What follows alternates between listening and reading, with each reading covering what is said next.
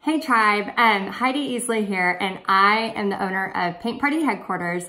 And what Tribe has done for me is really what it has done for my husband. So um, those of you that know me know my husband was not for me getting the Tribe um, course the first time. And we ended up, you know, making this little bet and I did it. And then now I've had this membership of 400 women and it's insane. But here's the coolest part that I didn't expect the job that he was at that carried all of our insurance and all of the benefits, he was always scared to leave that because here I am chasing my dreams, teaching paint parties and teaching people how to teach paint parties.